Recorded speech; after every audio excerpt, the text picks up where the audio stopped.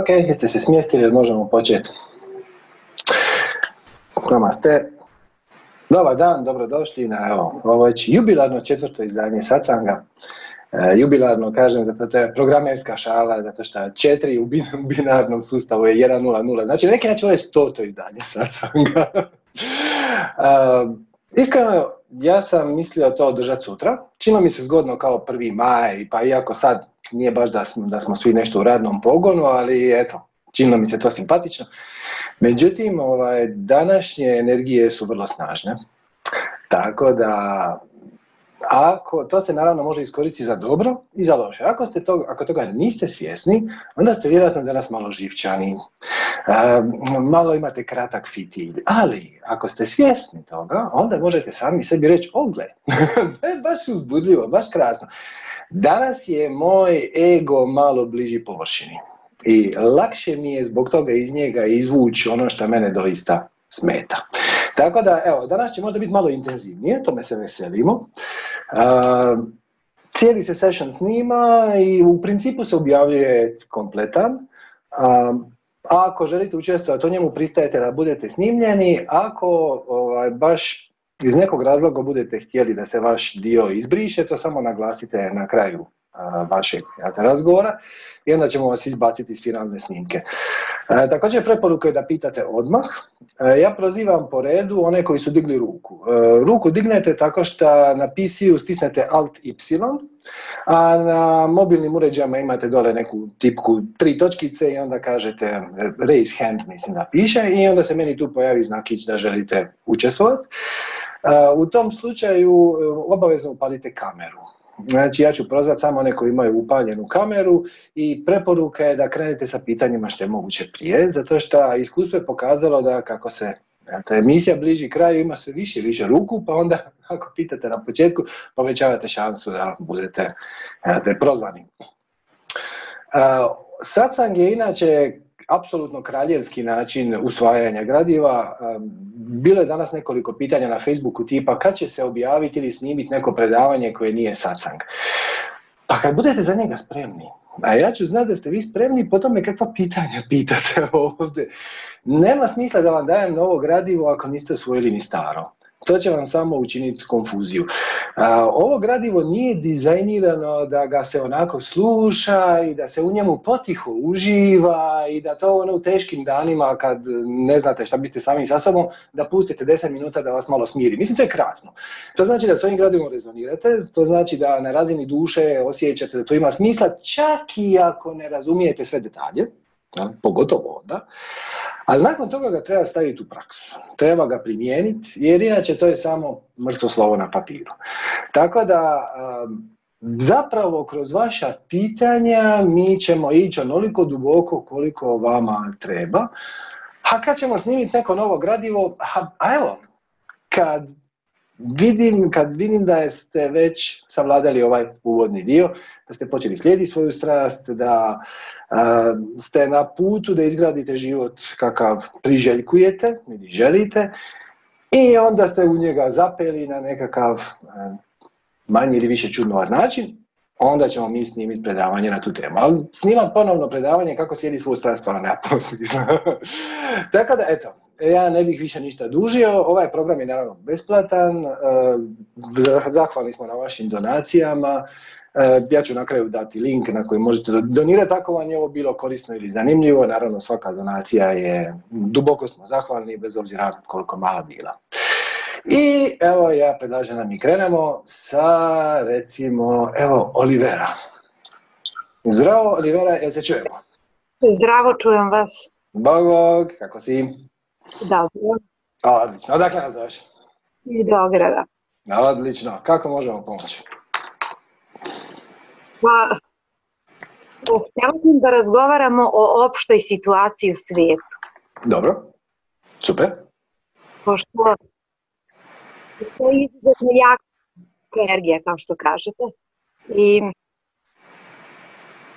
kada to definisala, postoje veliki informacija koji kruže internetom i medijima. Vezano na koju temu? U svemu tome prosto ne znam čemu da verujem, a sve te informacije e, su vrlo uznemirujuće. Samo ako ih tako prihvatiš. Znači, ako provučeš te informacije kroz svoj sustav negativnih uvjerenja, onda one postanu uznemirujuće, ali informacija sama po sebi nije ni dobra ni loša. Koja konkretna informacija te uznemiruje? Pa informacija, na primjer, da će biti obavezna vakcinacija.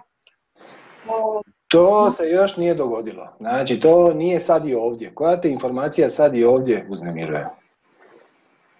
Pa je uznemiruje me informacija da a, možda postoji tamo negde u svetu a, monstruozno iživljavanje na nekoj deci, na primjer. Dobro, možda. I šta ćeš napraviti po tom pitanju? Ne, samo me uznemiravaju te informacije i moje pitanje je da, kako da, a, mislim, ja meditiram jako dugo, već 4-5 godina sigurno svako jutro i veče. Uvijek nekad preskočim, ali dane ne počinjem bez meditacije. I e, negde e, stvorila sam neku svoju, da tako kažem, realnosti, u kojoj je mnogo dobro i u kojoj sam vrlo zadovoljna. Zato što filtriram informacije, dakle, komuniciram sa ljudima koji mi prijaju. Ne to radite. Ne to radite, a ne, ali ozbiljno. Znači, to što ti radiš, to je spiritualni bypass. Ti koristiš meditaciju, što je spiritualni alat, da bi pobjegla od svakodnevnog života. Je tako? E, ne da bih pobegla, ja uživam u svom životu, ali e, mene dotiču informacije koje se tamo negde u svetu događaju. A sada, pošto je ova korona nas jeli, a, ograničila na kretanje i ograničila me da ne mogu svakodnevno da se bavim poslom koji, koji volim. A, to nije točno. To jednostavno nije točno. Ja uopće ne moram znati koji je to posao koji ti voliš, ali nije te ograničila, to je samo stvar percepcije. Znači ti si zaključila da si ti ograničena u obavljanju svoje, ali nisi uopće, jesi li upotrijebila svoju maštu da vidiš kako na drugi način možeš raditi to što voliš. A, da, i radim na drugi način, ali i pored toga imam više vremena da istražujem i malo sam više istraživala po internetu i došla do nekih informacija koje ranije uopšte nisu bile u mom krugu interesovanja i nisam se bavila ni politikom, ni svetskom ekonomijom, ni e, ljudima tamo negde koji Eh, jer odlučuju kako će izgledati eh, ekonomija i kako će izgledati eh, funkcionisanje nas malih zemalja. Dakle, mene to nije doticalo. I sada kada sam krenula sve to da istražujem i čitam i slušam i gledam, uh, osjećam da sam se uznemirila u tom smislu, ne da me to, je, ne da me to uznemirilo da je poremetilo neki moj Da, da, da, ali to ništa, kako bi ti rekao, znači, postoje razne informacije. Samo da završim sekund jedan. Uznemirilo me u tom smislu da a, hodam i, a, na primjer, šetam pse i a, iz čistog mira mi suze idu. Znači, malo više mi se plače nego, nego, nego inače. To je odlično. Znači, suze su način na koji organizam izbacuje negativno uvjerenje van. E, naime, vjerovali ili ne, svako negativno uvjerenje u organizmu kreira određenu kemikaliju. Da pojednostavnimo. I kad se ti oslobodiš negativnog uvjerenja, vrlo često organizam ga izbaci vani kroz suze. Jer je to najjednostavniji način. Znači, to je skroz u redu. To je čišćenje, to je izbacivanje nečega s čime više ne rezoniraš. E, ali što se tiče uznemirujućih vijesti, gle, ako ti se fokusiraš na njih, znači one su ti ponuđene na izbor, pazi one su ti ponuđene na izbor. A ako se ti fokusiraš na njih, ićeš sve više i više prema realnosti u kojem su one relevantne. Ako se ne fokusiraš na njih, ićeš sve više i više prema realnosti u kojem nisu relevantne. Zamisli ovako, zamisli da kao da postoji stakleni zid u tvom životu. I ti si u stanju percipirati šta se nalazi sa druge strane staklenog zida. Znači ti si u stanju vidjeti sve te užase o kojima si pričala. Ne moram uopće ići u detalje. Ali ako ti ih ne dopustiš da te oni promijene tvoju vibraciju, to je jedino što je bitno. To je tvoja vibracija. Tvoje... ali baš, baš o tome se radi. Mislim, praktično ste vašom sugestijom došli do mog pitanja. Uh, ja sam zaista bila u uverenju da živim jedan, jedan uh, život koji, koji sam želela i koji sam sama sebi mani, manifestovala. Dobro. Kako god. E, I u tome svemu sam zadovoljna. I sad mene interesuje zbog čega zbog čega ja ovako reagujem na sve te informacije. Dakle, ja ne idem dublje u njih, ali mm. mene interesuje zašto, zašto e, to se tamo negde događa. Događalo se i pre nego što sam ja znala za njih. Da. Događat će se. One će se uvek događati, oni će biti tu. Ali da. mene interesuje zašto te informacije i zašto sada cela priča o, a, o, o spoznaji, ceo svet koji meditira, gde god da odem ja vidim grupe ljudi koji meditiraju. Vidiš kako je to zanimljivo. Znači to si primijetila. Znači, ali pazi ovo, znači ne meditira toliko puno ljudi. Znači, ne pričamo sad da 60% ljudi meditira. Meditira jedan relativno mali broj ljudi kad gledaš u apsolutnim brojevima. Ali, time što ti rezoniraš sa meditacijom, ti se sve više i više susrećeš sa ljudima koji meditiraju. I u tvojoj privatnoj realnosti, kako si sad sama rekla, stalno susrećem neke ljude koji meditiraju. Ajde, molim te, pitaj svog susjeda. Da li on stalno susjeće neke ljude koji meditiraju? Ne. Da, naravno, osim ako on nije dio tvog balona, ako on isto tako ne meditira i interesira se za ovakve teme. Znači, taj dio si odradila dobro i primijetila si ga. Time što si iskreno um, rezoniraš sa meditacijom, ti si u svoj život privukla neproporcionalno velik broj ljudi koji meditiraju i stvorila si dojam u svojoj maloj privatnoj realnosti da stalno nešto neko negdje meditira, ali to nije točno. To nije točno u nekom apsolutnom iznosu, ali to uopće nije važno. Znači ti si stvorila takvu realnost. E sad, isto vrijedi i za ovaj drugi dio. Sad prije što uopće krenemo, da ti odgovorim na ovo pitanje koje je relativno sporedno, ali je povezano. Znači ti kažeš da do sad nisi primjećivala takve užase o kojima sad, koji ti sad ulaze u tvoju realnost, a sad na jedan put čuješ da neki ljudi kontroliraju našu ekonomiju i politiku i rade ti o glavi na ovakav ili onakav način. Ok, to je zato što se mi sad civilizacijski nalazimo na prekretnici. I ti moramo sve izvaditi na stol. I dobro i loše. Svađaš? Moramo sve izvaditi van. Prema tome, sve ćeš više i više biti svjesna i dobrih stvari koje život donosi i loših stvari koje se nalaze u našem kolektivnom. I pitanje je na koju ćeš se fokusirati. Jer sad pazi ovo. Ono na što ne obraćaš pažnju, sad pazi, ne obraćati pažnju ne znači zatvoriti oči, zakopat se i pravi da ne čuješ. Ne čujem, ne vidim, baš me briga. To samo znači da znaš van svake sumnje da te to ne može dotaknuti. Ako ti znaš da te to ne može dotaknuti, onda te to ne može dotaknuti. Kažem, to je kao da trenutno postoji nekoliko svjetova na ovoj zemlji i oni su odvojeni staklenim zidom. To što si ti u stanju percipirati ljude koji rade užasne stvari, ne znači da te se to na bilo koji način mora dotaknuti. A dotaknut će te samo onda ako na to počneš obraćati pažnju. E sad pazi, to ne znači zakopat glavu u pjesak, ovdje se većina ljudi zezna. To samo znači reći ja u to neću ulagati svoju energiju. I ako je to nešto na čime možeš poduzeti konkretnu akciju, znači sad ti pričaš o nekim ljudima u nekom dalekom svijetu koji rade neke užasne stvari na nekoj djeci. Gle, ok, ako ćeš se baviti time, možeš, onda moraš postati vrlo konkretna. Ko, kad, gdje, zašto i na koji način. Ako se to događa u tvom susjedstvu i ti si apsolutno protiv toga, napravi sve što možeš pozitivno. Pozitivno da tu situaciju spriječiš. Ajmo to tako. Jer, pogledajte ovako, Zašto ti ljudi rade grozne stvari? I ekonomiji, i politici, i djeci, i životinjama i tako dalje.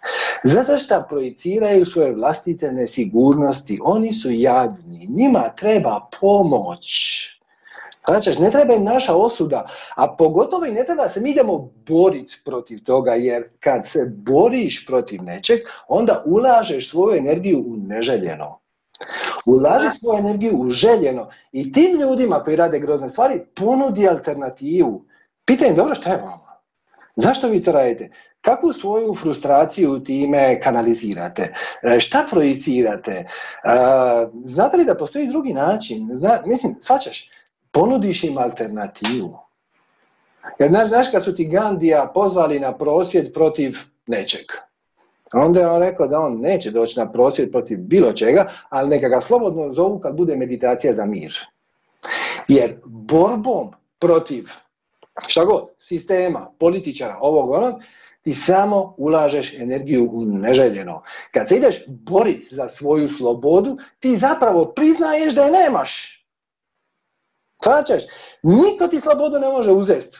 Osim u iznimnim situacijama, ok, ako napraviš nekakav gadan zločin, završit ćeš u zatvoru, ok, ali to je na civilizacijskom kolektivnom nivou, mi smo se dogovorili, prihvatili smo taj način. Ali inače, to što se tebi čini da ne možeš slijediti svoju strast, zato što negdje u dalekom svijetu postoji neko ko dizajnira ekonomiju na način koja, mislim, to samo, ne, to nije točno.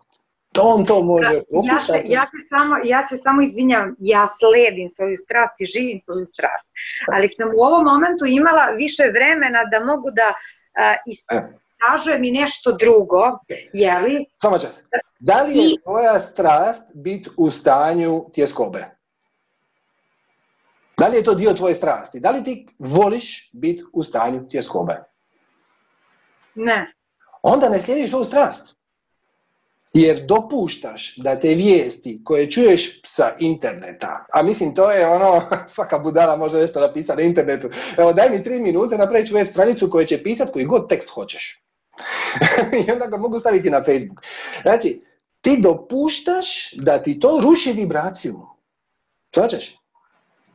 To samo nije dio tvoje realnosti i ako ti rezoniraš tim problemom i ne vidiš ništa smislenije u svom životu nego se e, izboriti sa problemima svjetske ekonomije, ja te ohrabrujem da to napraviš.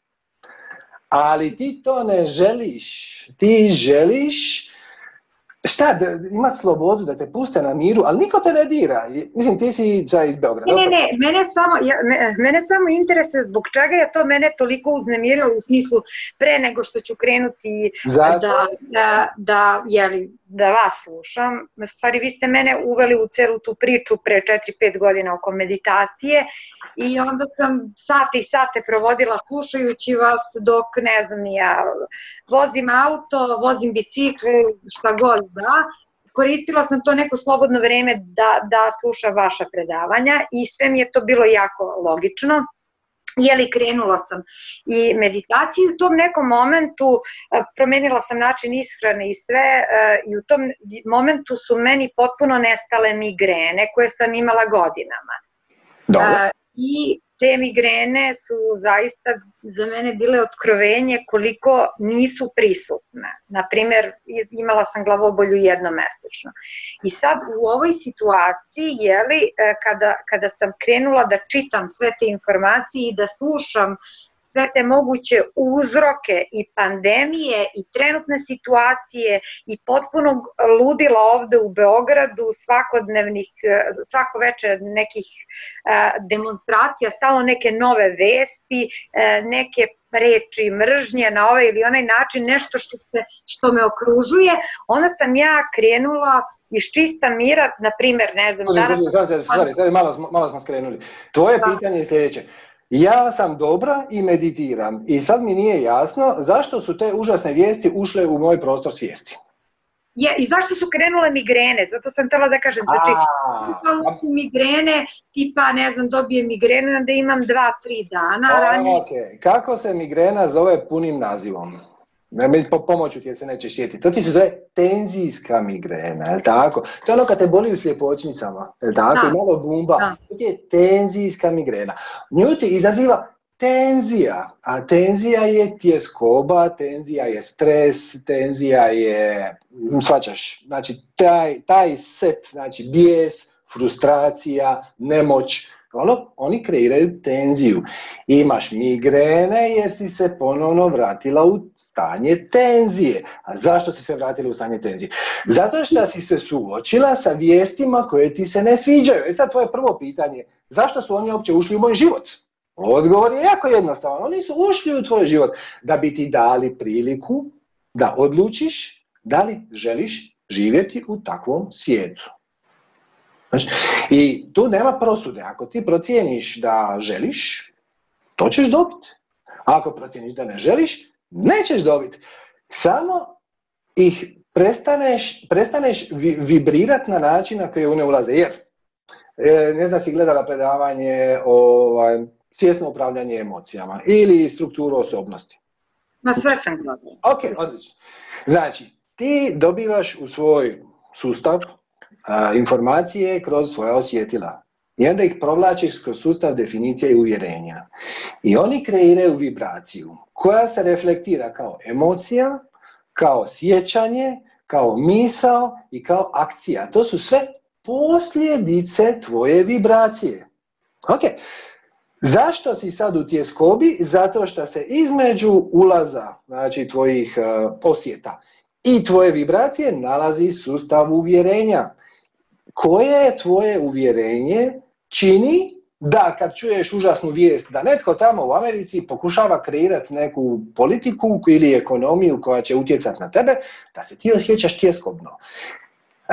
mislim, zato što misliš da te se to dotika, kak se tu kaže u Zagorju.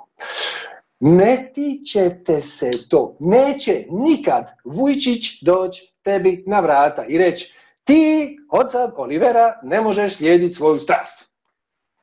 Je tako?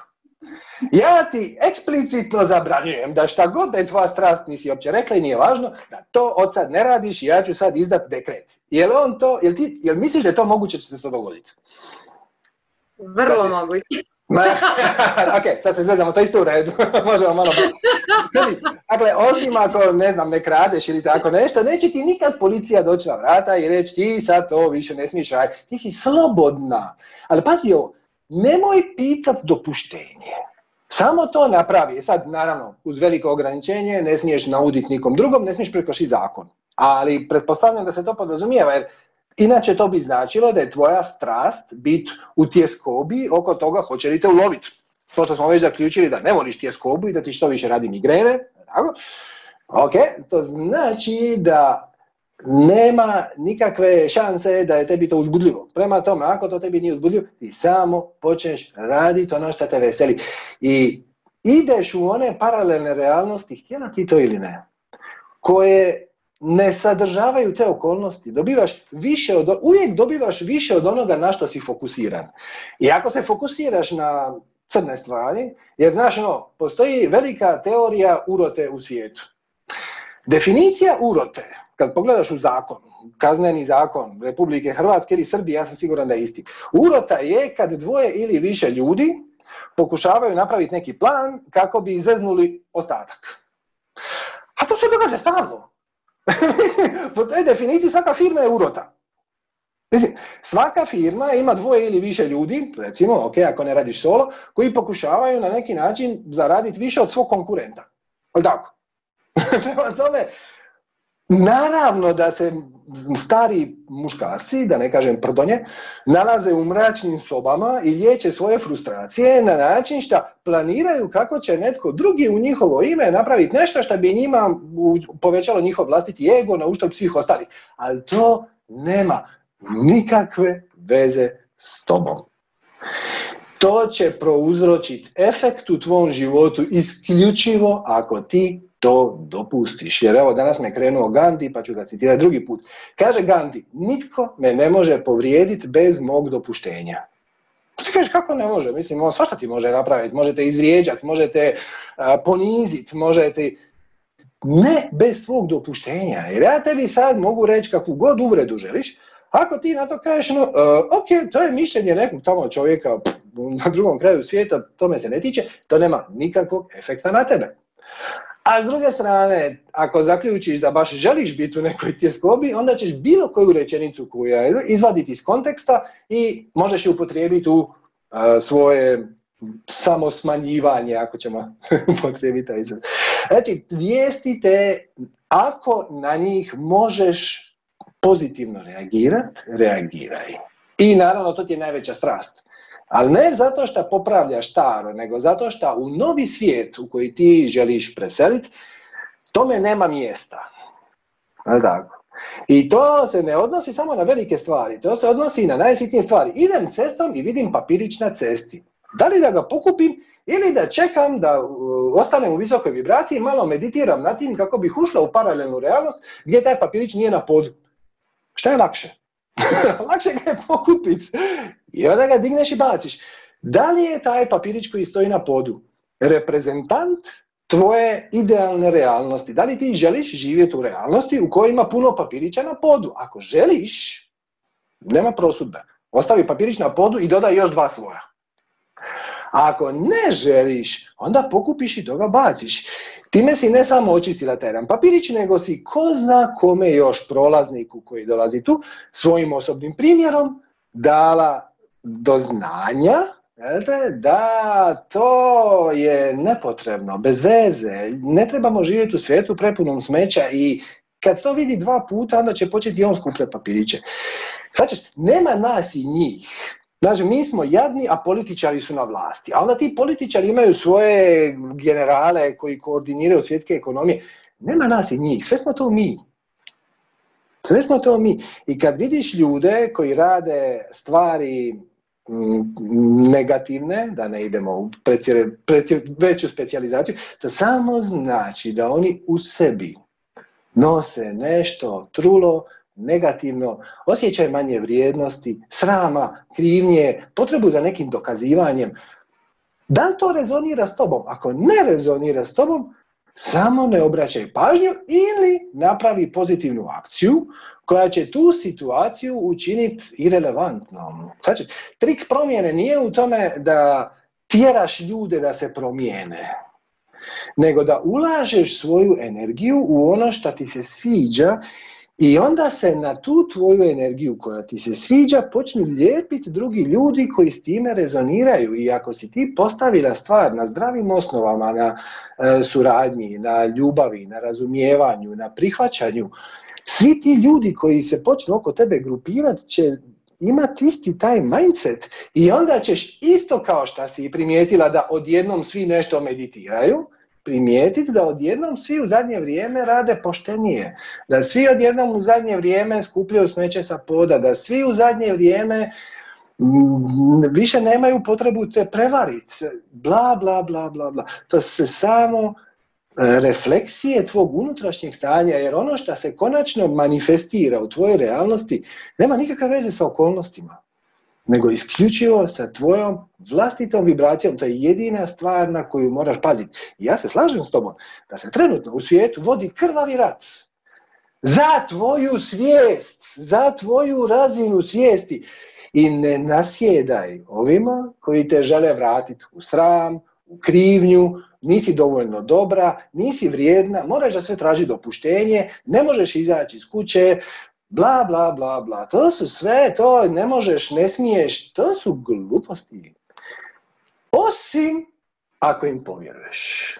Ali ako im ne povjeruješ, shvatit ćeš da ti možeš reći, ok, dobro, znači situacija je takva kakva je, šta je najuzbudljivija stvar koju ja sad mogu napraviti?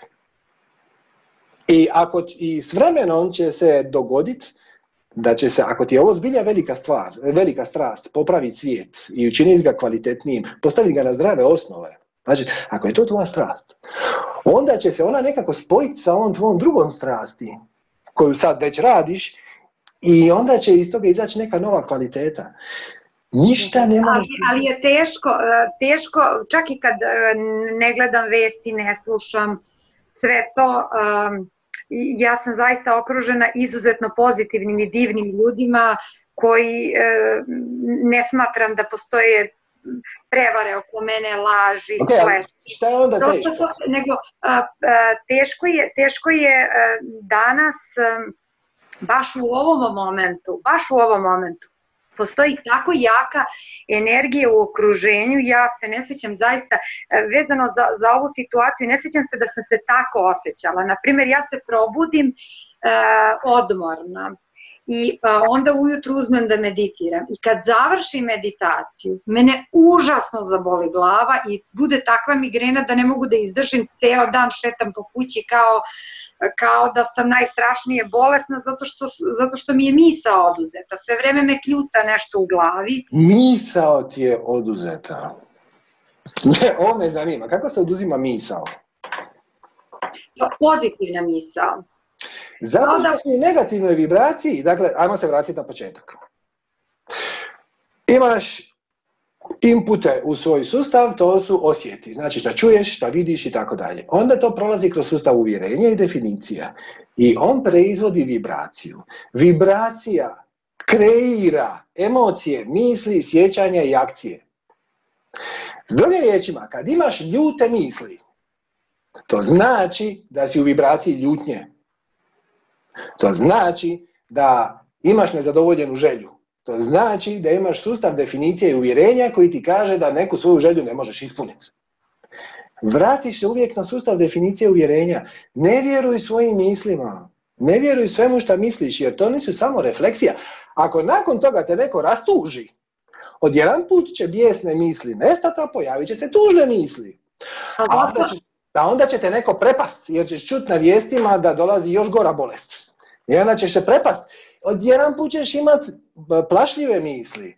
Misli su refleksija naše vibracije, ali ima i druga stvar toga. Ako si na dobroj vibraciji, a najlakši način da budeš na dobroj vibraciji da slijediš svoju strast, ima i drugih, ja ne inzistiram da morate slijediti svoju strast, ima i drugih načina, to je samo način koji je, meni se čini najprihvatljiviji za sve nas onda ćeš imat pozitivne misli, onda ćeš imat kreativne misli, onda ćeš imat inspirativne misli, imat ćeš svježe ideje, svačaš.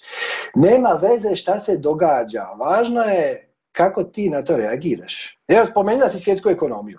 Recimo da se svjetska ekonomija sutra sruši. Je li to dobro ili loše?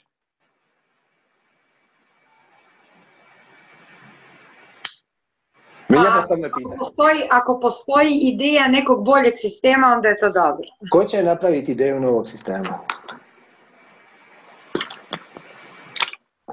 Zašto ne bi ti?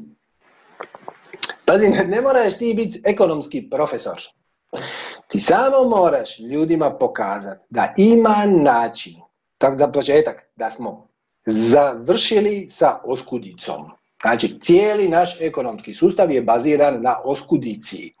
I ako mi ne vjeruješ, otvori knjigu iz ekonomije. Znači, prva rečenica u udžbeniku iz ekonomije sa Berkeleya, to je američko sveučilište, vrlo prestižno. Kaže ovako, ekonomija je znanost koja nam je potrebna zato što su dobra oskudna. Nema dovoljno za svih. To je premisa cijele ekonomske znanosti. Nema dovoljno. I kad na tome nema dovoljno, izgradiš sustav, on kreira oskudice. Svačaš? Jer šta god, recimo da ti proizvodiš čokoladu. Ok. Najviše ćeš zaraditi. Ti ćeš kao proizvođač čokolade biti najuspješniji ako niko drugi ne proizvodi čokoladu. I ako uopće čokolade nema, nego se ljudi trgaju za tvoju čokoladu, ne možeš digni cijenu četiri puta. Drugim riječima, tebi je povoljno da država uvede e, tarife i carine za uvoz čokolade. Tebi je povoljno da tvoj konkurent propadne. Tebi je povoljno da se donese neki zakon koji samo ti možeš ispoštovati, nijedan tvoj konkurent ne može. Kužiš, ekonomija naša je dizajnirana da propagira oskudicu. Ja ne kažem da je to dobro ili loše, to je samo tako. Možemo sad. I sad, ajmo se vratiti na početno pitanje. Sutra se ekonomija skrši. Šta god to znači, ja se uopće ne mogu pretpostaviti šta bi to značilo, ali sve padne. Je to dobro ili loše?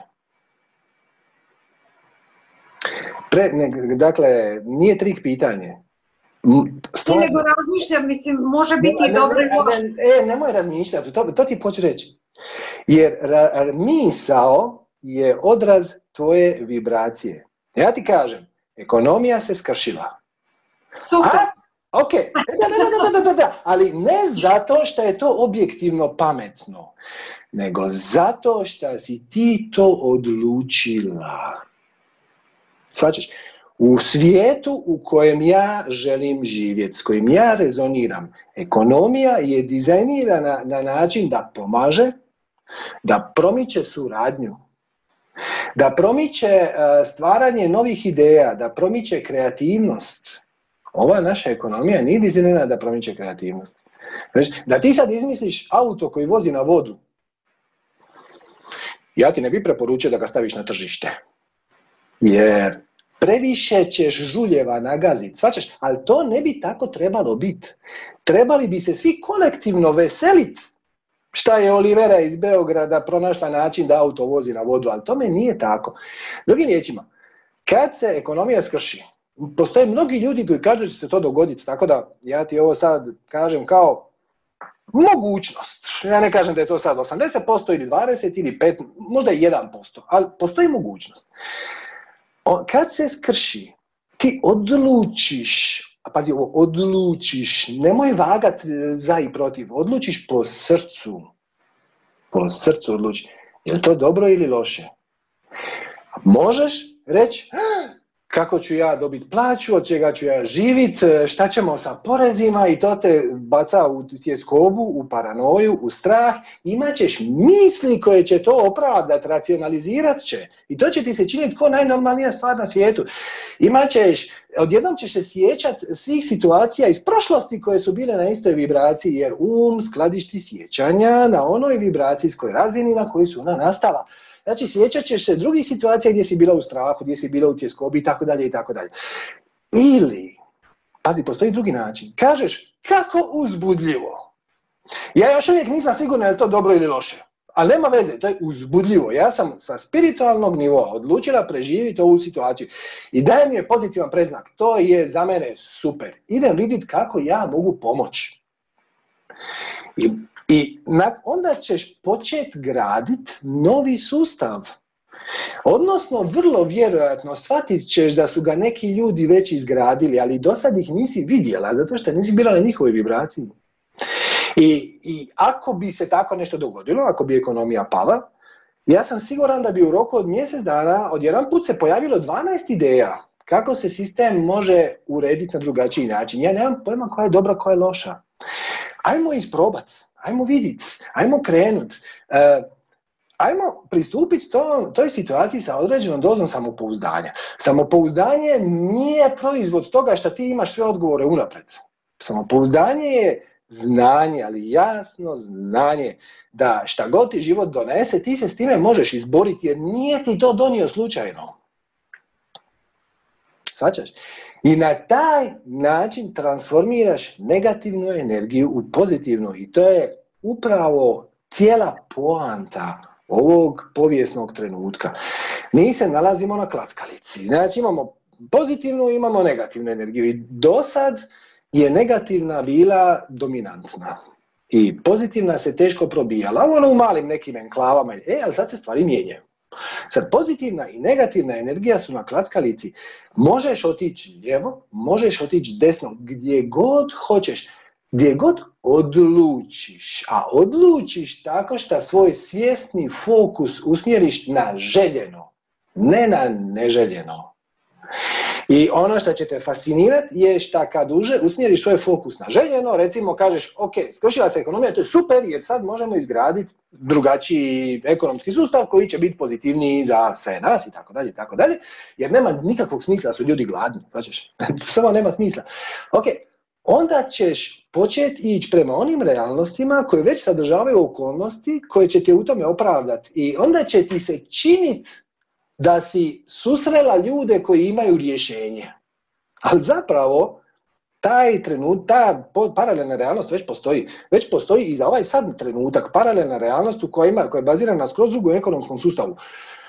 Pravo pitanje je zašto ja nisam tamo. A nisi tamo jer si odlučio iskusiti ovaj trenutak. Odabrao si ova, ovu školu, ovaj razred, koji, a ovaj razred je, ima veliki naslov koji se zove transformacija negativne energije u pozitivno.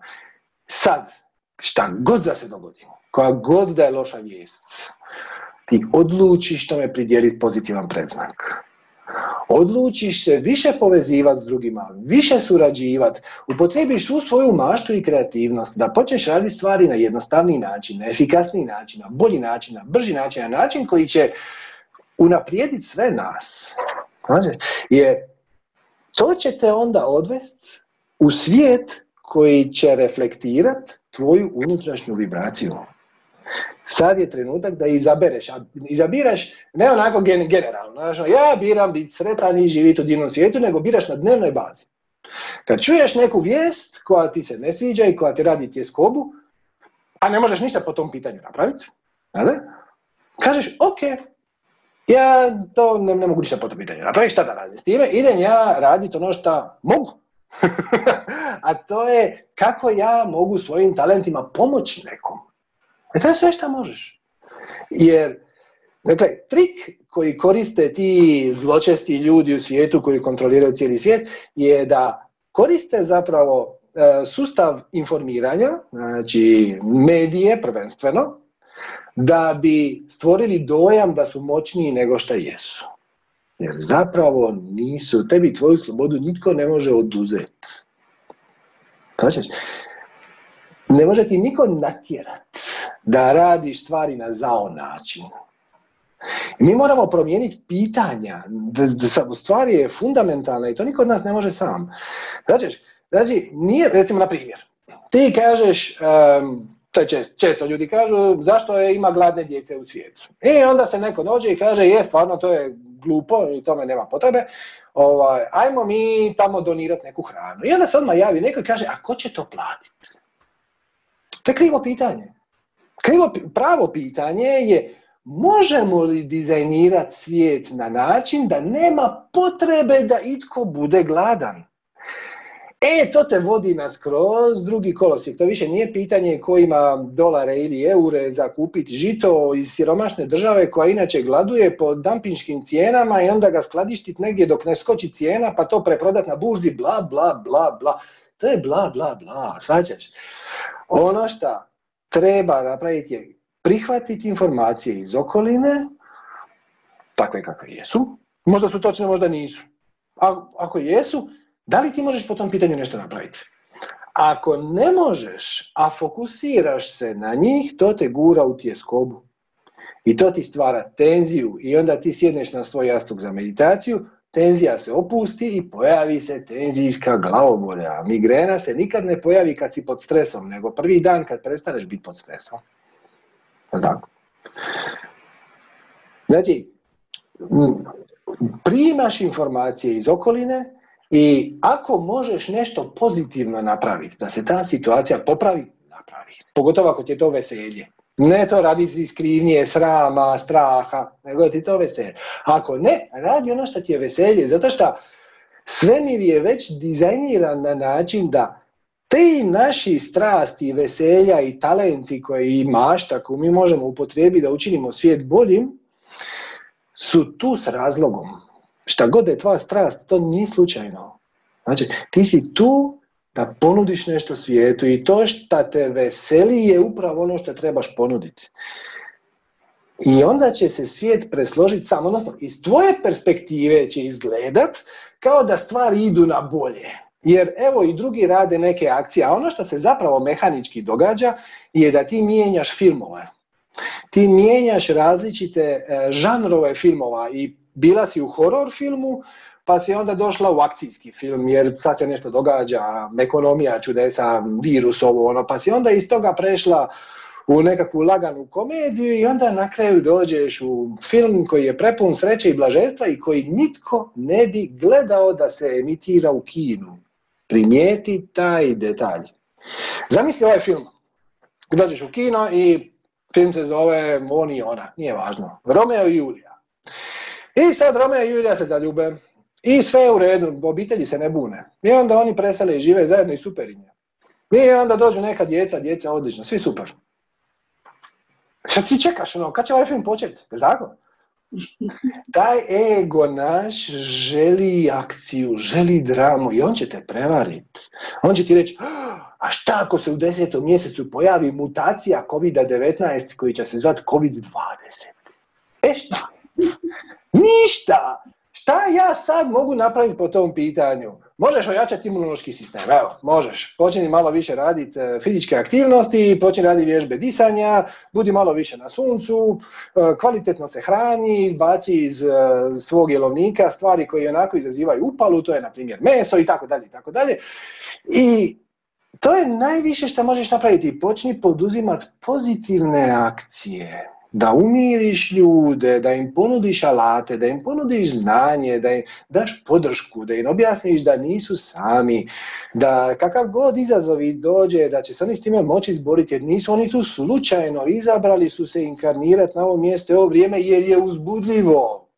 Znači, naravno da u tom uzbuđenju ima i malo tjeskobe, kako bi rekao, to je kao kad gledaš akcijski film i sad našeg junaka ganjaju tri kriminalca sa puškama. Mislim, ako je film stvarno dobar i ako si se ti identificirao sa tim likom, naravno imaš malo tjeskobu šta ono meci zuje oko njega, ali svejedno je uzbudljivo. Kaćaš? I odlučiš se fokusirati na uzbudljivo. I na zanimljivo.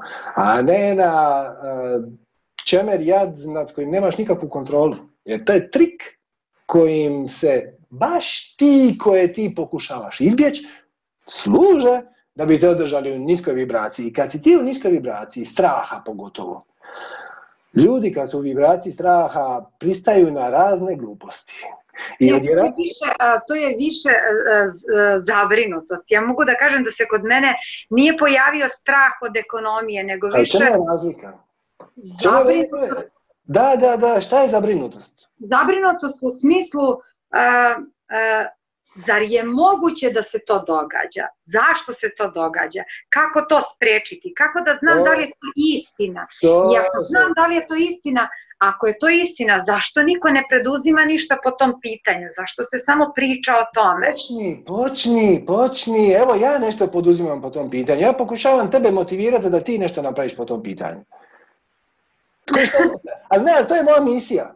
Moja misija nije da tebi ja dan odgovor nego da ti pokažem kako ćeš znat doći do odgovora sama, kad god ti treba.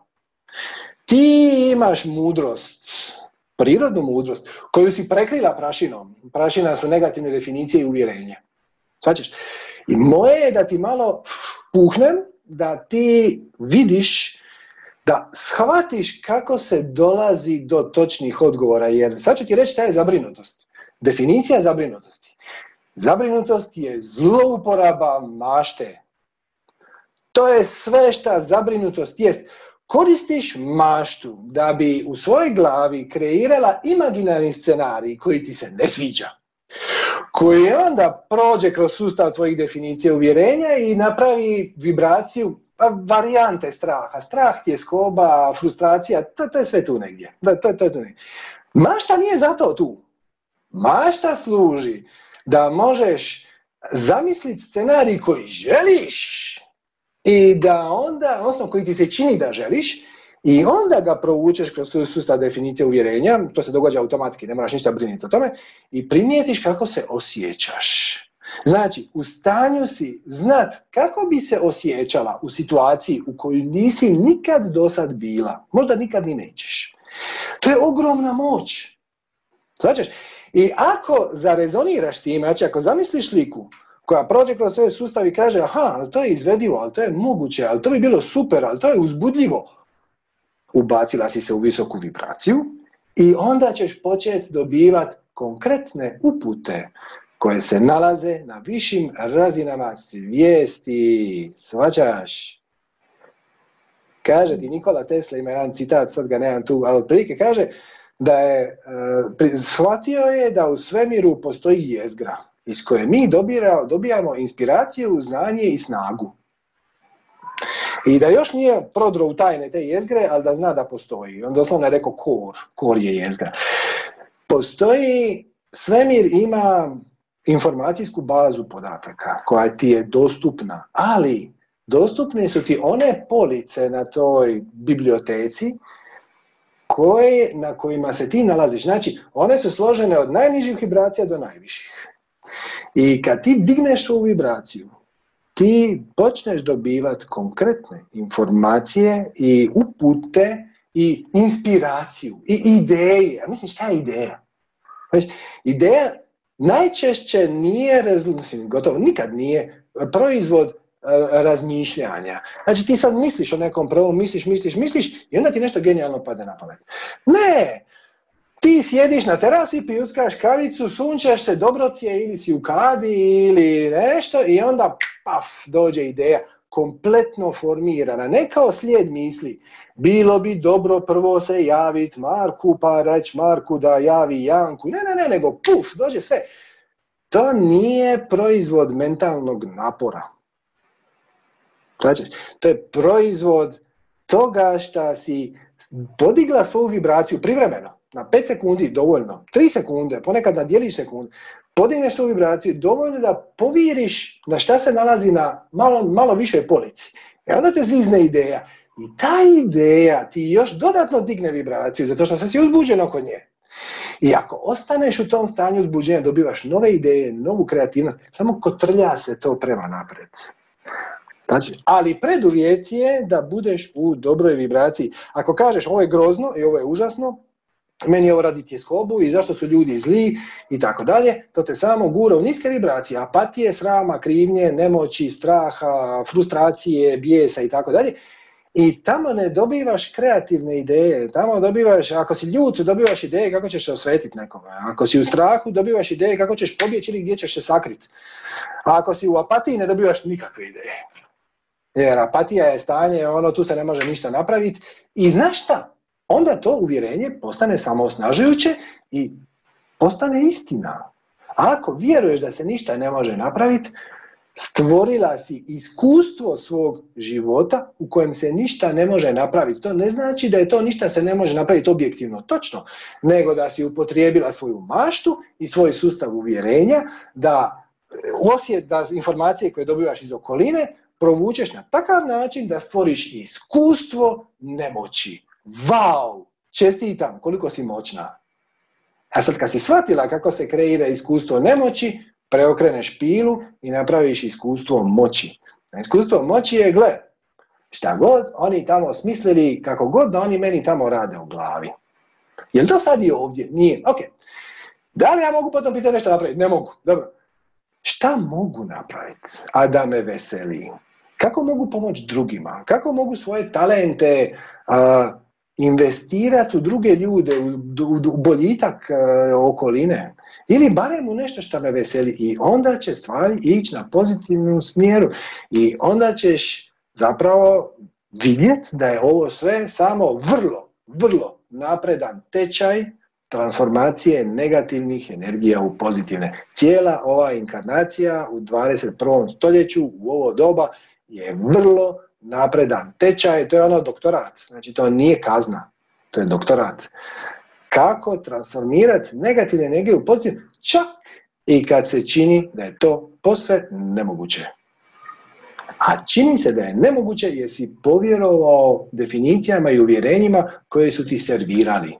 I neke od njih s tobom ne rezoniraju, jer da rezoniraju ne bi imala tenziju, ne bi imala glavobolju. Prema tome, ne rezoniraju, pronađi točno koje, prepoznaj da su glupi, otpusti ih i nastavi živjeti tako što ćeš biti od najveće moguće koristi sebi i drugima. A sebi ćeš biti od koristi ako si u dobroj vibraciji, jer by the way je skobati smanjuje i imunološki sistem.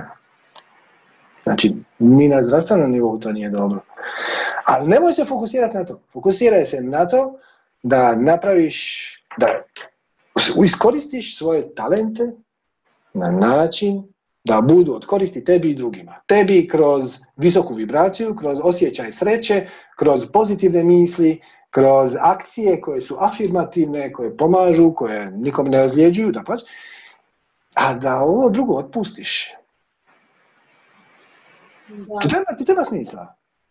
Pa da, to već i radim, nego ova situacija je, zato sam i htjela da postavim to pitanje, e, mene e, razočarala u smislu e, da, da sam poražena, da sam toliko reagovala na sve te informacije, Odlično. a mislila sam da ne reagujem na, ne reagujem na ljude, zlonamerne ljude koji E, mi pričaju gluposti, koji vređaju. Znači ja na to uopšte ne reagujem, ali to sam sve postigla zahvaljujući i radu na sebi i meditaciji i meni je ovo bilo bi poražavajuće zbog čega je to toliko mene uznemirilo i šta je to... E, to, to, to, to, to je jedino bitno pitanje. Zašto je to mene uznemirilo?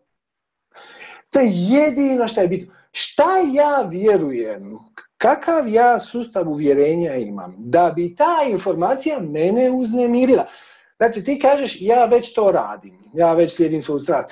Da, ali ne, ne radiš to cijelo vrijeme.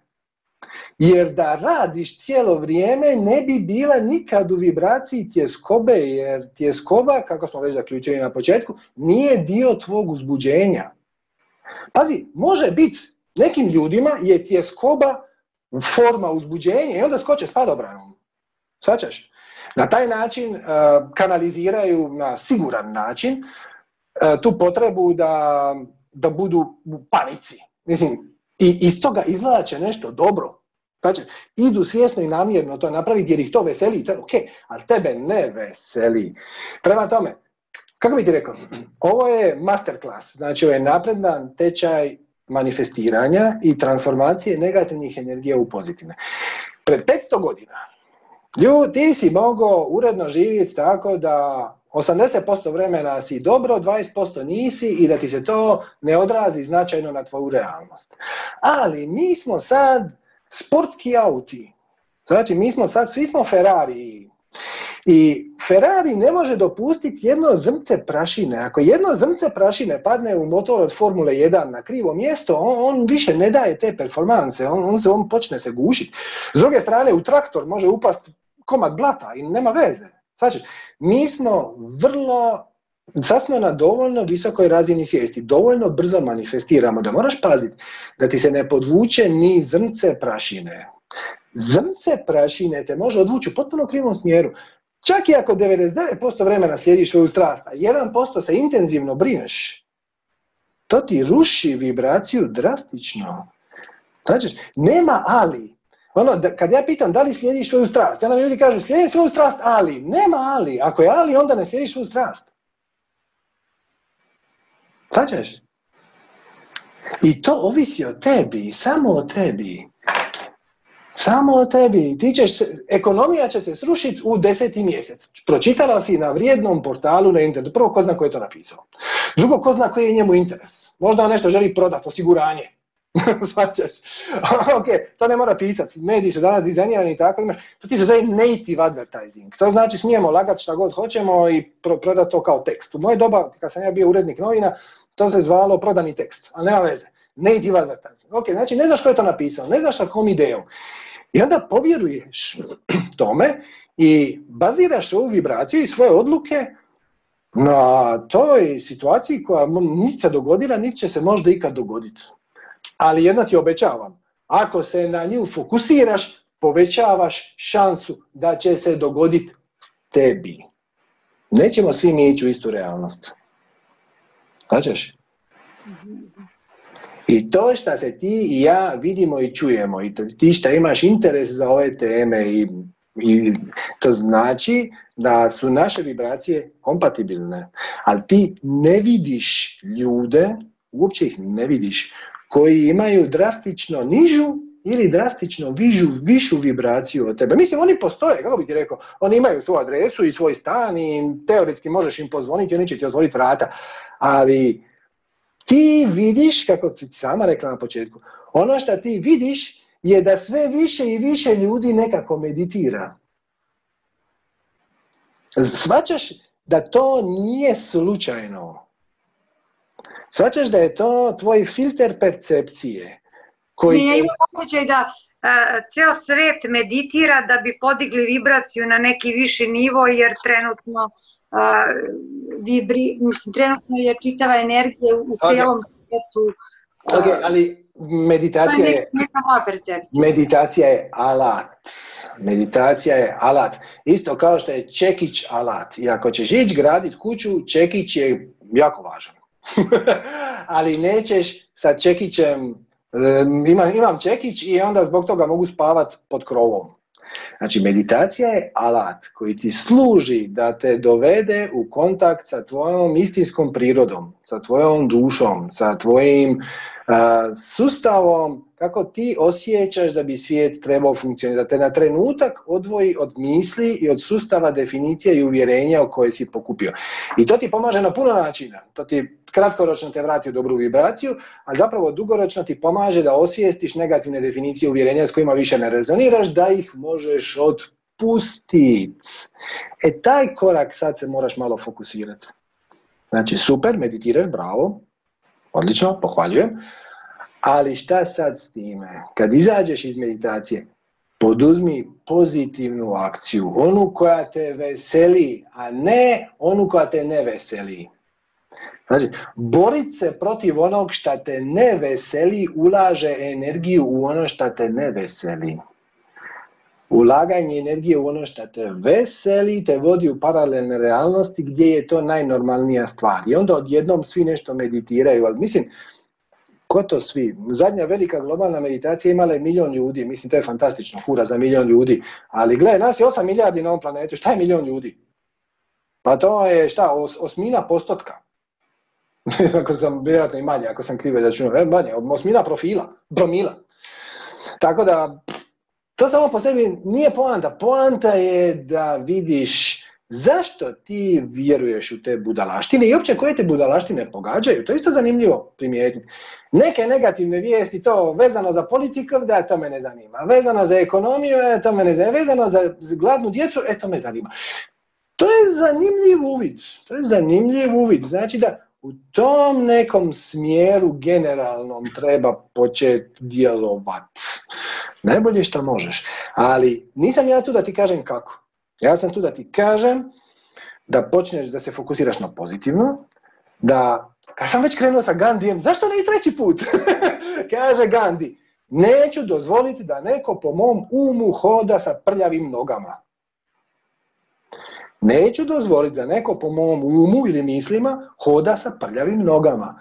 Drugim riječima, ako ti imaš nešto meni za reći kako smo svi mi kreteni i kako je svijet užasan, hvala na sugestiji, aj bok.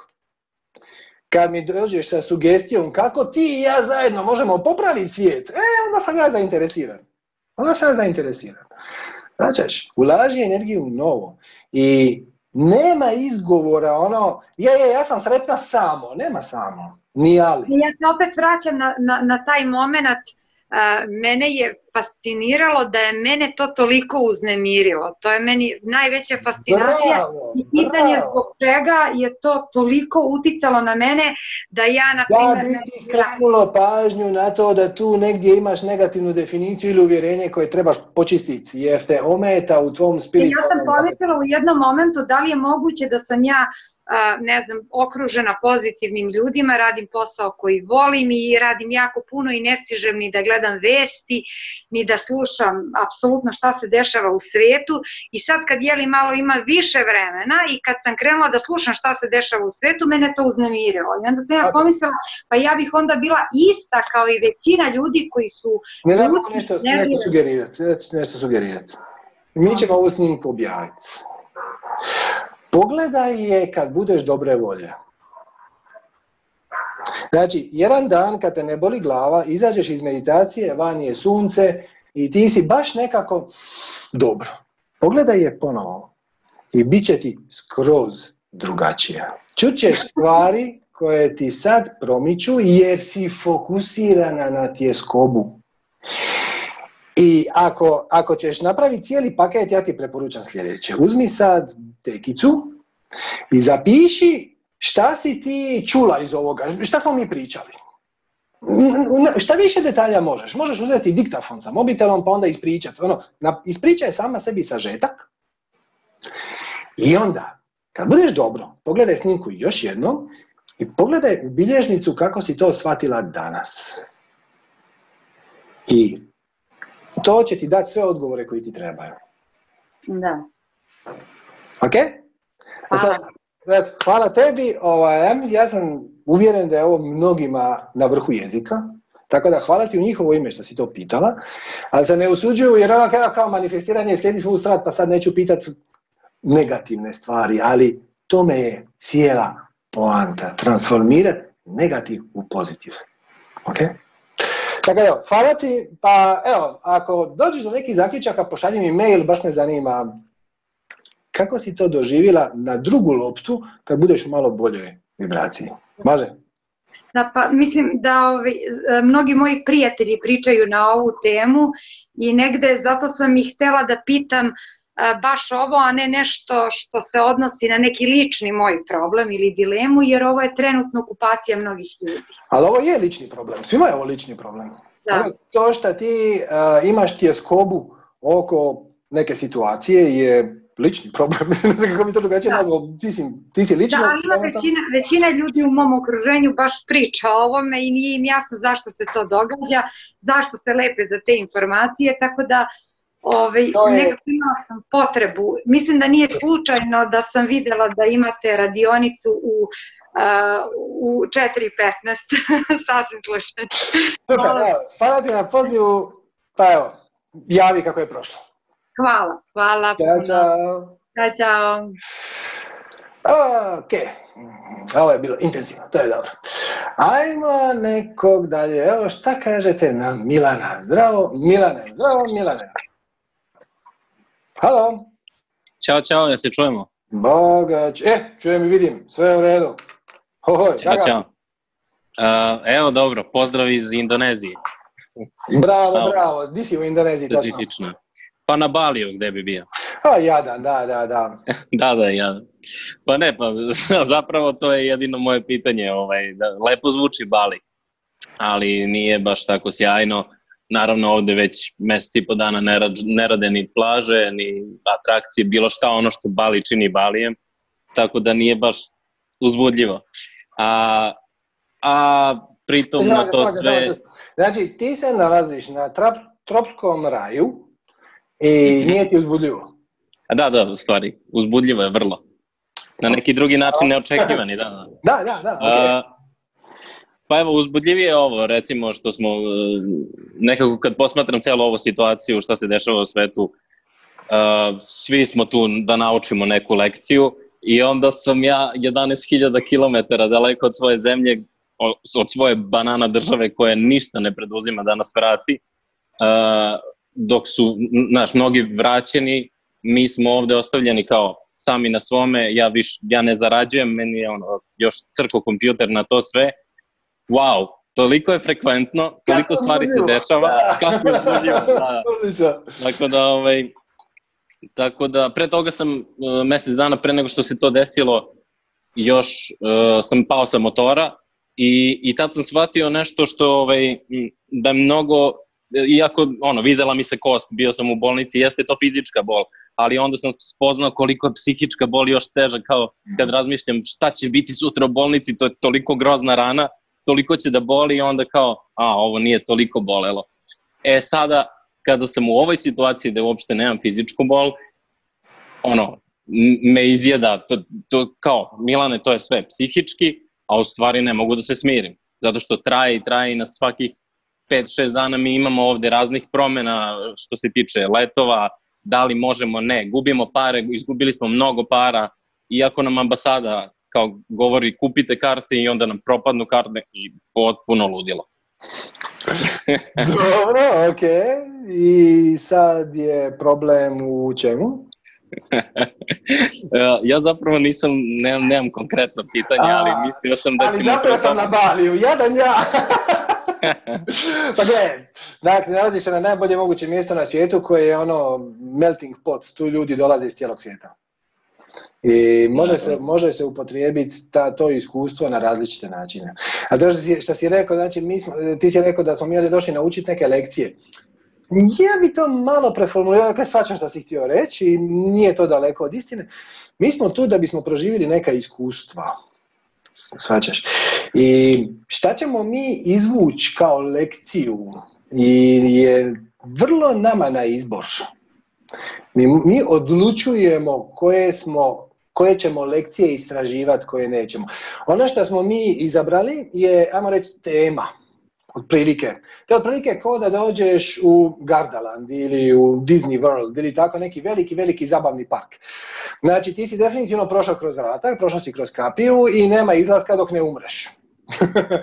Ali koju ćeš se ti atrakciju pozabaviti? Hoćeš ti biti na vrtuljku? Hoćeš li biti na roller coasteru? Hoćeš li samo sjediti u kafiću i pijuckat kavu? To je potpuno na tebi. Znači, tako da, ti sad biraš kako ćeš iskustvo izvući iz te situacije. Kreneš sa pitanjem, kažeš, ok, zapeo sam na Baliju, što nije najgora stvar koja mi se mogla dogoditi u životu, ok, šta mi to omogućava, a inače bi to bilo gotovo nemoguće naučiti jezik, vidjeti kako žive ljudi u drugim državama, doprinijeti nekako njihovom životu, kako ti njima možeš pomoći lokalcima.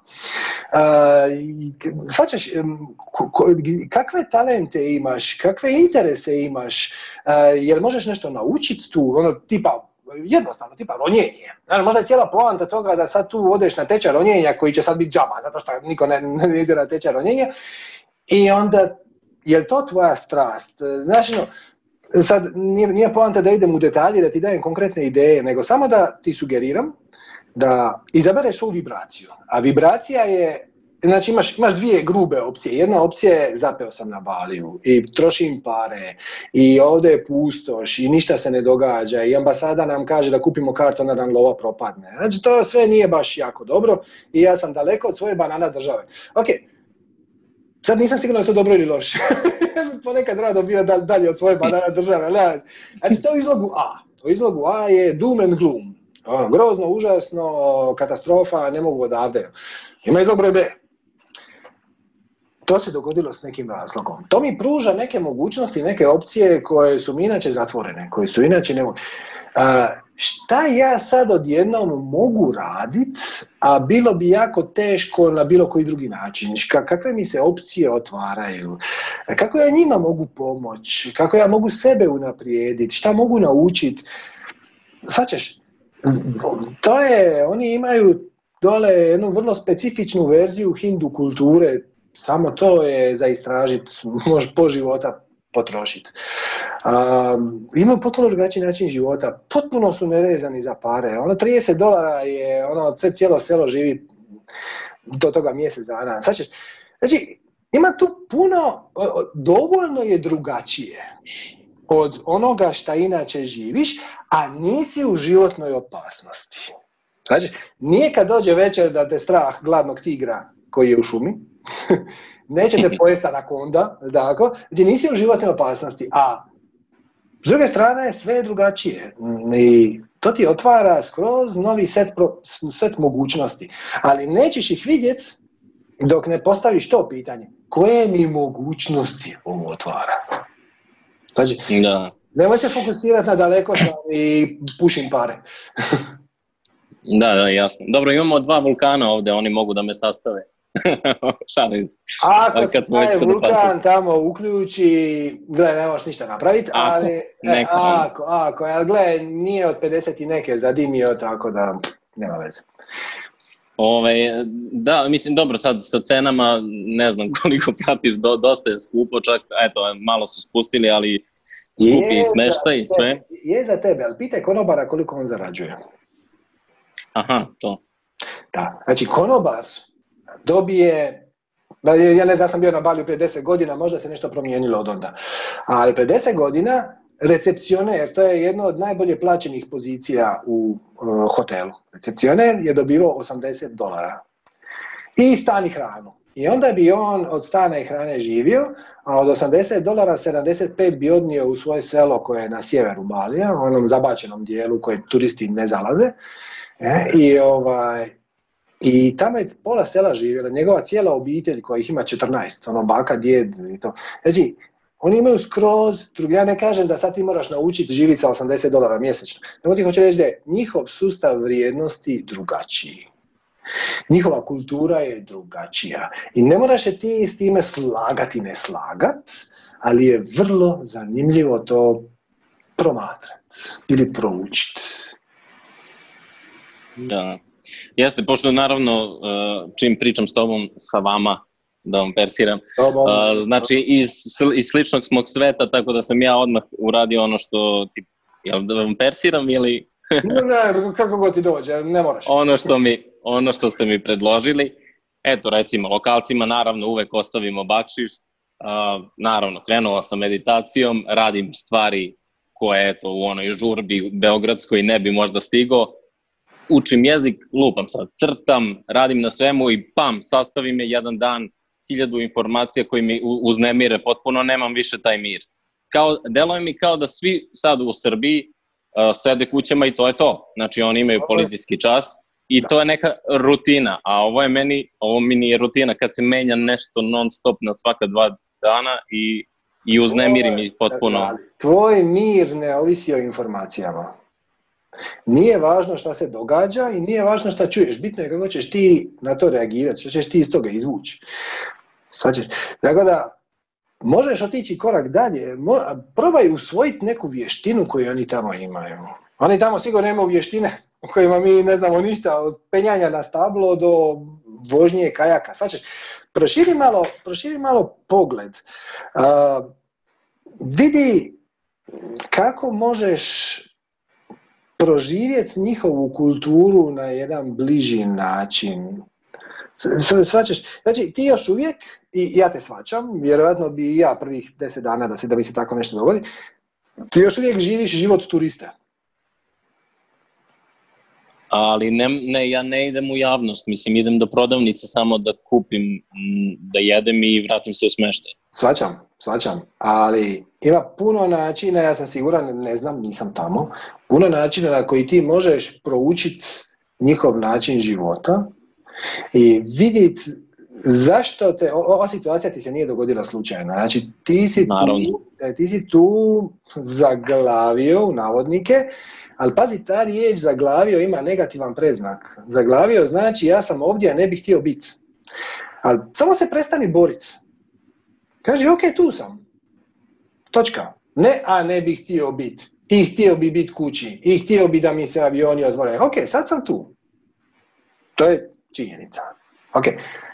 Pustimo sad koliko će to trajati. Kako ja današnji dan, današnji dan mogu provesti najuzbudljivije?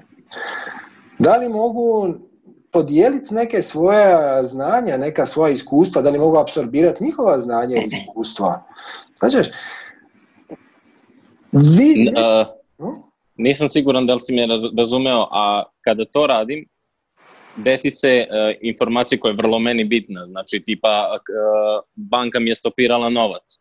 Okay. I ja možda sutra ću ostati na ulici jer neću imati da platim nešto i to nije kao, ok, neće to biti, ali na, naravno da organizam poludi u tom trenutku. Naravno da, da ego poludi, jer se ti shvaćaš da se ti nalaziš vjerojatno na jednom od tri mjesta na svijetu, di ti ne treba krov nad glavom, Tamo je po danu 30, a po noći 28 stupnjeva.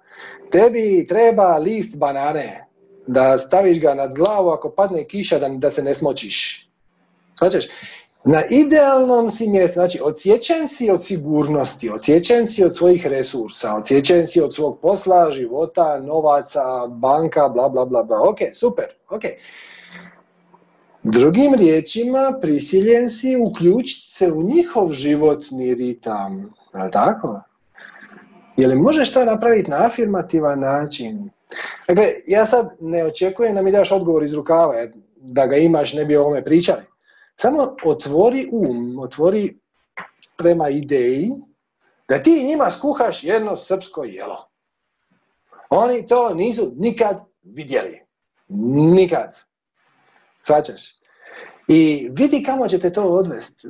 Naravno da ako se sad spustiš u kuhinju hotela i kažeš biste li vi mene sad pustili da ja tu vama skuham šta god, grah, nešto, će oni reći ne, mislim gospodine izađite van, ja ću vam ga donijeti, ne znam, svačaš. E, ali ako se otvoriš prema tom iskustvu, ono ne mora biti negativno. To što se tebi dogodilo nije ni pozitivno ni negativno, to je samo tako. Ti si taj koji tome pridaješ preznak. I onda možeš reći, negativno, ja sam zaglavio, ja ne želim biti ovdje, ja gubim novce, ko zna koliko ću dugo moći, daleko sam od kuće. Ok, to je sve, jed, to je valjan pogled, mislim, ne mogu reći da nije. To sve stoji. Ali postoji drugi. drugi je kako uzbudljivo, kako zanimljivo. E, šta sam ja tu došao naučiti, kako, kako mogu ovo iskustvo pretvoriti u pozitiv, kome mogu pomoći? Jer šokirat ćeš se koliko ti znaš stvari koje oni nemaju pojma. Ja nemam pojma koliko si ti vješt sa kompjuterima, ali sama činjenica da ti ja pričamo preko interneta znači da si za njih doktor nauka. Shvaćaš, jednako ista stvari sa engleskim, ja ne znam koliko ga dobro govoriš, ali vjeruj mi, za njih si doktor nauka, oni znaju francuski i ona je svoj. Mi smo ga zvali Swahili. Nije to ne, pa, pa ja sam sad prošao e, četiri države, u stvari ovo mi je četvrta u Aziji, tako da Balinežani najbolje pričaju engleski. Ovaj, a što se tiče kompjutera, to mi je posao i ovaj, da, crkve. Laptop u, u Vijetnamu od vlage. tako da razne su to univerzumske ovako e, znakove. Da, da, da, da, ali ne moraš imati svoj kompjuter uopće, da bi bio u poziciji dijeliti svoje znanje o kompjuterima sa ljudima kojima je to potrebno. Znači, samo ne, nemoj se više gledati kao turist, nego ovako, ovako ću ti to formulirati. Najbrži način da iz ove neugodne situacije izađeš je da je prestaneš bojati kao neugodnu. Znači, ti odlučiš, ti samo kažeš, oh, kako uzbudljivo, ja se nalazim na Bali, odsjećam sam od svih resursa. Ko zna, hoće li za mjesec dana imati pare za hranu, ko zna, će nema veze, ok, whatever. Recimo da sam brodolomac i da me more izbacilo na ovaj divni otok. Šta sad? Šta mi je najuzbudljivije? Kako mogu pomoći? Kako mogu doprinijeti? Uh, šta, šta, šta, ja sad tu mogu naučiti, ali ono, sad ne naučiti. Izvini, moram da te prekinem, zato što sad sam vidio jedan komentar, kaže možda naučiš da surfuješ. A i ti mi isto predlažeš sve socijalne stvari, znači nije situacija sada trenutno zbog korone takva, znači policija je svuda na polju, moraju da se nose maske, ograničeno je sve, znači ne, plaže su zatvorene, ne radi ništa, prodavnice radi i tako to, tako da ja ne, do, ne dolazim u dodir sa ljudima uopšte ovo. Svačam. I gle, ja ti iz ove pozicije ne mogu sugerirati ništa konkretno. Ali, ako se spustiš na recepciju i kažeš, jer vi imate tu nekog ko bi meni davao časove surfanja privatno. Recepcioner zna, ako ne zna taj, zna ovo u drugom hotelu. I onda će ti on pozvat nekog i onda će taj neki doći. I taj neki inače ima školu za surfanje na plaži koja sad ne radi. Jel tako? Ne radi. I on može ili čekat na plaži nikog da mu proda svoj tečaj za 100 dolara ili uzeti svojih 10. A i onako mu je dosadno. On bi učio ljude surfa, njemu je to strast. Znači, izađeš ovo ti je prilika da izađeš iz mentalnih obrazaca. Možda je to cijela poanta ove situacije za tebe. Da ti pokaže da se na razne životne situacije uvijek ima više od jedne perspektive.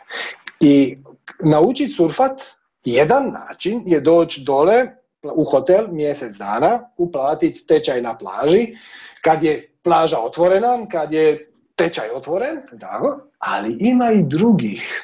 Ja ne znam koji su. Možda se prošetati do dućana koji prodaje daske za surfanje, ja ne znam ti to dozvoljeno uopće. Ali ako nije, pitaš recepcionera da te spoji s nekim. Onda će da nema pojma, ti kažeš hvala i odeš u drugi hotel. Spustiš se na plažu, malo prošetaš, pitaš nekog u kafiću. Kafić je naravno zatvoren, ali nema veze, jer neko dođe jednom u četiri dana obrisat pjesak sa terase. Vidi malo kako, otvori malo um, znaš, otvori se prema mogućnostima i nema veze ako ne uspije, nema veze ako uspije. Sam taj proces će te ispuniti, bit će ti zanimljiv, malo ćeš ubiti vrijeme, što se kaže, pretpostavljam da ti je sad prilično dosadno. I odvešćete u potpuno neočekivanom smjeru. Unapred se pripremi na to da ćeš ti ići tražiti učitelja surfanja, a da postoji velika šansa da na kraju neće to rezultirati ni sa kakvim surfanjem, nego to je sve služilo da bi ti upoznao njihovog lokalnog pjesnika koji bi htio napraviti web stranicu, a nema pojma dakle i počeo. a ti to eto znaš. Da, da, da, da izađem napolje. Nije pitanje izaći napolje kao fizički izaći napolje. Znači, nije poanta da ti napustiš prostor svog doma. Poanta je da mentalno izađeš napolje. Ne moraš izaći iz sobe da bi mentalno izašao napolje. Možeš zaključiti da je ovo idealan trenutak da sam sebi napraviš desetodnevno meditacijsko povlačenje, sjedneš na dekicu sa strane i odmeditiraš deset dana. Svačaš? Nije poanta u fizičkom izlaženju van. To je vjerojatno jednostavniji način, ali ako to ne možeš, Mislim, na koji način ti ja sad pričam? Znači, imaš neki, neki mobitel, neki tablet, neku tehnologiju imaš, nešto imaš, neki internet imaš. Na koji način to možeš iskoristiti? Uh, ne, nemam problem sa dosadom i, i ispunjen mi je dan dosta. Možda bi se prevratio na ono pitanje šta je sa tim što ne može da bude normalno 5 dana rutine, ajde da kažemo, nego mora nešto sa letovima i sa ambasadama i sa, ako čekaš, sa gubljenjem para. Ako čekaš pet dosadnih dana, ja ih iskreno ne očekujem još barem pet godina. Što, nisam razumio. Sljedećih pet godina će biti vrlo dinamične. Ovo je trenutak kad se naša civilizacija odlučuje da li ide u pozitivnom ili u negativnom smjeru. I na neko vrijeme ćemo percipirati obe dvije verzije. Znači, čak i ako se odlučiš za pozitiv, kao što sam kao smo pričali sa Oliverom prije tebe, ti ćeš biti u stanju percipirati ovaj negativan dio, jer ti na taj način svemir daje priliku da se odlučiš. Hoćeš ovo, hoćeš ovo, hoćeš ovo, hoćeš ovo. I i iskreno, ja mislim da će sljedeći pet godina biti izuzetno dinamične. Sad pazi, to, to ne znači dobro, loše, kritično, tjeskobno. Moći ćeš na dnevnoj bazi, na dnevnoj bazi odlučivati i evaluirati svoje dosadašnje odluke. Ja sam do sad živio na određeni način. Živio sam, nisam te pitao dakle se, nije bitno, recimo u Beogradu. I, da, Beograd, da, da. E, odlično, živio sam u Beogradu i imao sam takvu i takvu realnost, takve i takve prijatelji, takav i takav posao. Ok. Sad ga nemam. Ok. Kako? Je li to uzbudljivo ili je to tjeskobno? Ako je tjeskobno, imat ćeš sve više i više manifestacija koje će ti davati za pravo da budeš u stanju tjeskobe. Ako se odlučiš za uzbudljivo, imat ćeš sve više i više manifestacija, kad kažem manifestacija, mislim fizičkih događaja u svojoj okolini, koji će ti davati za pravo da nastaviš biti u stanju veselja, uzbuđenja, radoznalosti i to. I ako sutra kreneš slijediti svoje veselja i prilagođavati se, učiti iz te okoline balineške u kojoj si se zateko, postoji vrlo razumna šansa da u trenutku kad se otkoče letovi ćeš ti reći sad moram natrag. ja bi rađe ostao ovdje. da, da se razumemo, ja sam vrlo zahvalan što sam na Baliju s obzirom da sam mogao da, da se zaglavim u Vijetnamu s kojim nisam oduševljen, uh, Bali je zaista stvarno mesto kao prelepo. e, znači, na neki način si počašćen si sa okolinama, sa okolinom. Jel? Ok, čime si još počašćen? Šta još tu ima? Hrana. Odlično, ajmo dalje. Znači, možeš upisati tečaj kuhanja. Sad, sad ćeš ti reći, je, zatvoreni su tečajevi kuhanja. Da, ne, ne, pa kuvam ja, kuvam ja po ceo dan. Po balineški? Uh, da, njihove začine. Da, da, da, ali znaš napraviti varung? Uh, pa varung znači kao jeftino, mislim. Da, da, varung je na njihov food. Ok, ali sad ti hoću reći, A, jesi li ikad napravio rižu sa ananasom? Nisam. Da, oni jesu! Svaćaš, kako je uzbudljivo. Dakle, ok, to je prva faza. Zamijenio si, zamijenio si začine, fajn. Više nemaš papar ni habanero, nego imaš nešto drugo. Super, kurkumu, tamo kurkume pada sa plafona. Ok, super. Da li možeš otići korak dalje? Da li možeš vidjeti kako oni pripremaju povrće? Da li možeš vidjeti koje tehnike koriste? Znaš, opet, kažem, e, to ne znači upisati tečaj kuhanja, mislim da bi možda u idealnom slučaju napravili, ali sad to ne možeš, ok. Šta možeš? Znači, nije mi ideja da ti, ja ne trudim ti ovdje dati ideju, ja ti ovdje samo kažem da kad se fokusiraš na pozitiv i kad promijeniš pitanje, Pitanje postane na koji način je ovo za mene dobro, uzbudljivo, zanimljivo, koje mi mogućnosti otvara, šta mogu naučiti iz ovoga, a inače bi mi to bilo teško ili nemoguće naučiti. Kad počneš ta vrsta pitanja, šta me zanima, gdje me vuče moja znati želja, onda će ti se početi otvarati i pitanje i odgovori, onda će se život zakoturat. Dokle god ti si ovu situaciju izdefinirao kao pauzu na svom životnom putu. No, živio si svoj život i sad rampa, stop. I čekamo da se vratimo natrag. Ako definiraš ovu situaciju, stvari definicija, ako je definiraš kao pauzu na svom životnom putu, ona će biti upravo to, pauza. I stalno će ti dolaziti nove odgode. I, jer svemir misli da ti želiš ovu situaciju gledati kao pauzu. Pazaš? A ako kažeš kako uzbudljivo, sve mi će reći ok, i dobivat ćeš stvari koje ti daju za pravo da je uzbudljivo. Ako kažeš kako tjeskobno, dobivat ćeš stvari koje će ti davati tjeskobi za pravo. Znači uvijek si u pravu. Uvijek si u pravu. Šta god da ti kažeš, uvijek si u pravu. Kao kaže Henry Ford, ako, ako misliš da možeš i ako misliš da ne možeš, uvijek si u pravu. Da li ja mogu iz ove situacije izvući nešto pozitivno? Ako kažeš ne, ne možeš. I stvarno ne možeš. I cijeli će se svemir urotiti da Čak i kad se, ti se učini na trenutak da možeš, e, ipak ne može. Propalo je. A ako kažeš može, dogodi se upravo suprotno.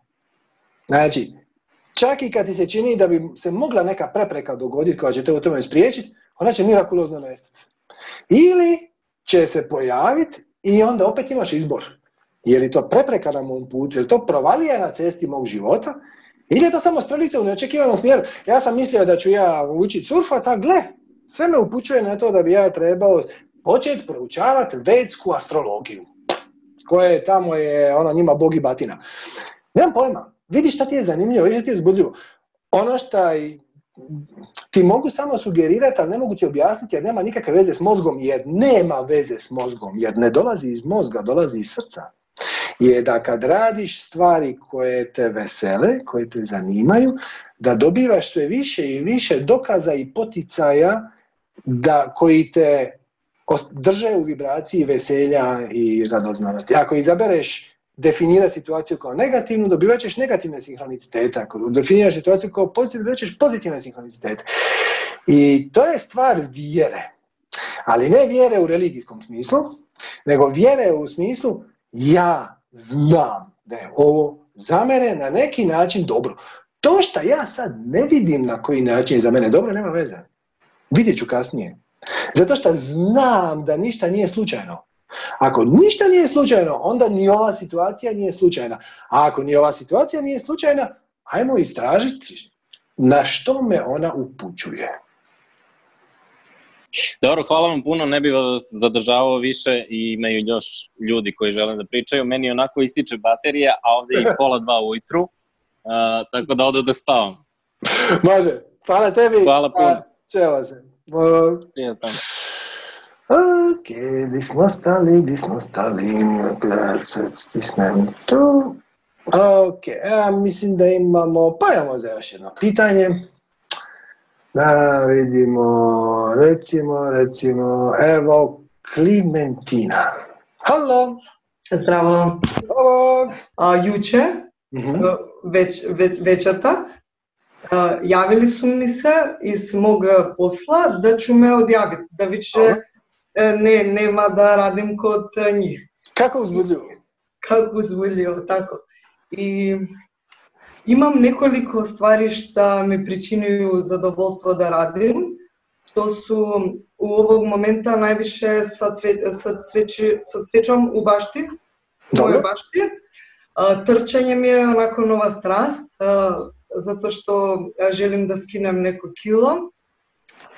И што друго, желим да цртам онако некад со темперни бојца, ама чисто да се релаксирам. Иначе пред два, две години сам почнала нешто да учим графичког дизајна и мало сам радила со томе, али некако сосечам да графички дизајн некако ми е наметнух, наметнут да го радим. Сакам, волим да радим тоа, али некако осеќам да и помало ми е наметнут. Добро, а ти би уместо тога ради радила шта?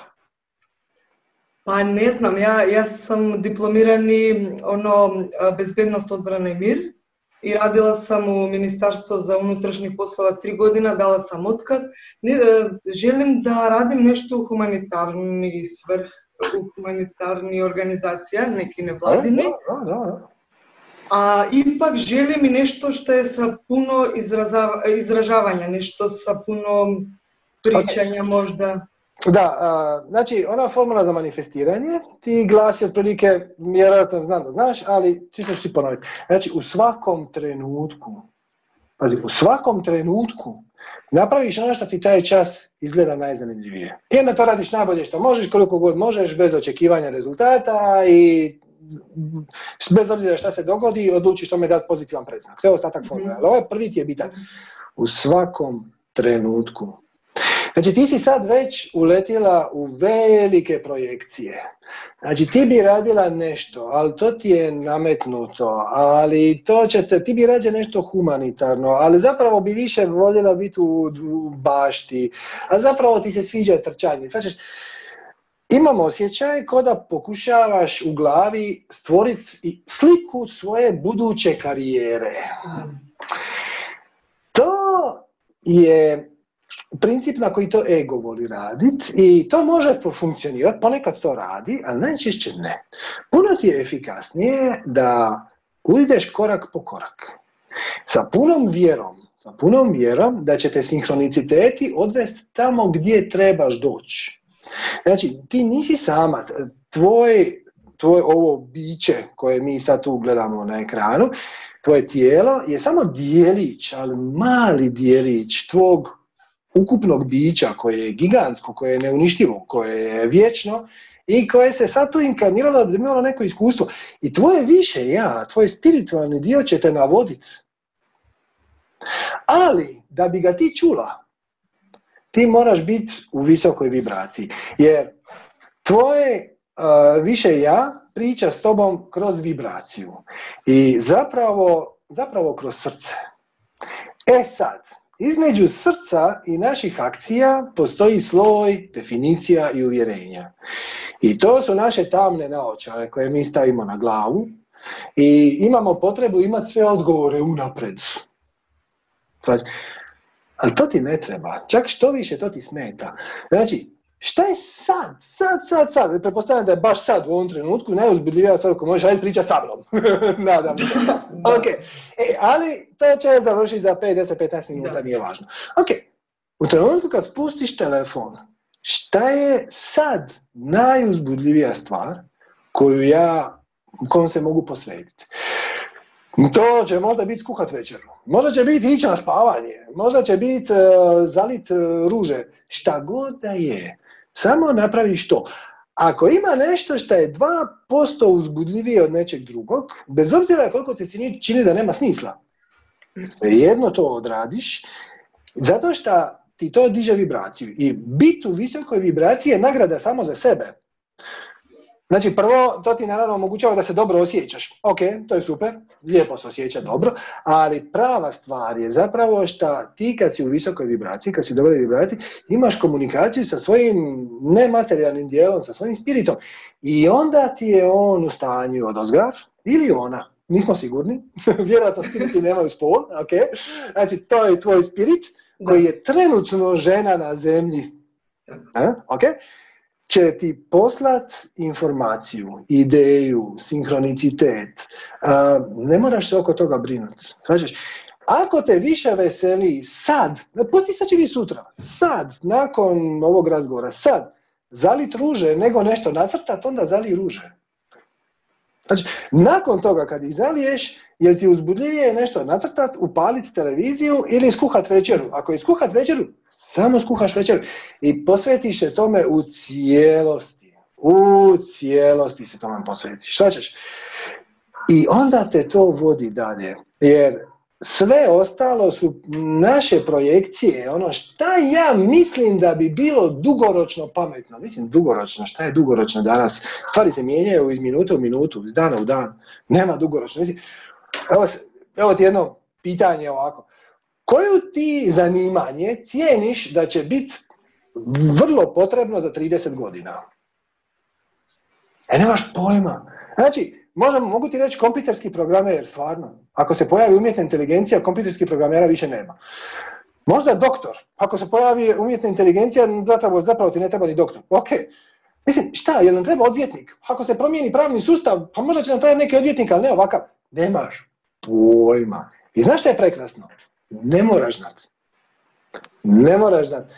Jedino što treba znat je da ćeš u trenutku kad to bude potrebno, ali ne ni sekundu prije, ni sekundu poslije, nego u trenutku kad to bude potrebno, ćeš od svog višeg ja dobiti signal šta ti je za raditi. Tvoje je samo da ga čuješ. Čuješ ga tako što si u trenutku.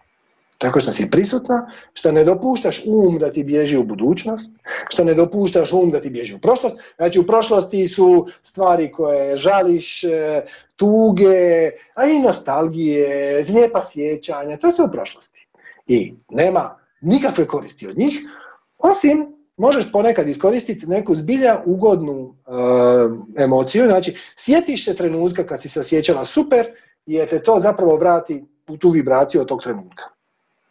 Zato što mi skladištimo sjećanja s obzirom na vibraciju na kojoj su nastala. Ako se sjetiš trenutka kad si bila u visokoj vibraciji, to znači da si sad u visokoj vibraciji. Inače se ne mogla sjetiti uopće. Ok, i to je jedini način na koji se prošlost može pozitivno iskoristiti.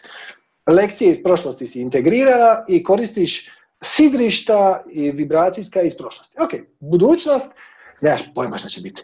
I ako razmišljaš o budućnosti, to te fura u tjeskobu, to te fura u stres, to proizvodi ti ono, a šta ako ovo, a šta ako ono, donosi strah i tako dalje. To ti ništa ne treba. Budeš prisutan, jer znaš da ono što si taj tren inspiriran napraviti nije slučajno. Inspiriran si to napraviti jer si in spirit, jer si u spiritu, jer si povezan sa svojim spiritualnim dijelom, inspiriran si. Svačaš? Inspiriran si da ideš žali cvijeće i samo ideš žali cvijeće. I dok zalijevaš cvijeće ne mozgaš ni o budućnosti, ni o prošlosti, ni o večeri, ni, ni ništa, nego zalijevaš cvijeće. I ta akcija zalijevanja cvijeća je najspiritualnija moguća akcija koju možeš poduzeti. I ona će ti, ako ostaneš u toj vibraciji, a ako ne paziš, ona će otići, ako si fokusirana, ona će ostati, ako si u toj vibraciji, dobit ćeš informaciju za sljedeći korak, dobit ćeš inspiraciju, dobit ćeš pravu kreativnost, dobit ćeš pravu ideju, pravi sinhronicitet, upoznaćeš prave ljude, dobit ćeš pravu savjetu, pravi trenutak, doće prava vijest sa portala do tebe. To, se, to su sinhroniciteti, postoje pozitivni i negativni. Kad si u negativnoj vibraciji, tjeskobe, straha, nesigurnosti, ovo, onda dobivaš negativne sinhronicitete. Kad si u pozitivnoj, dobivaš pozitivne. Moja su, moja sugestija se prepustiš pozitivnim. Puno je bolje. Dobro, hvala ti. Molim, to sve, može, može kako pomoći. Pa, pa ne, što znam, mislim da, da živim, da socijalam, e, živim sa mojte na poseben sprat, мислев да се оцелам, меѓутоа изгледа ќе се одложи тоа, така да ќе, да, ќе пратам како ќе се чувствам. Добре, супер. Тоа е се. Да, фала ви многу, поздрав до сите. Чао, чао. Ви, чао, чао. чао, чао. Океј, мислим да смо тиме, па да, потрошили смо наше време за данас. Ето, хвала вам лепа на пажњи. Е, да, пустичу само час овде доле, ако успеем Evo ga, pustit ću. Zahvala, zahvala svima koji ste tu. Ako vam dođe kakva donacija pri ruci, bit ćemo silno zahvalni. Ako ne, ja se nadam da je ovo danas bilo od koristi, da vam je bilo zanimljivo. Pa evo, preporučite nas prijateljima i vidimo se, a vjerojatno sljedeći tjedan. Hvala lijepa i namaste.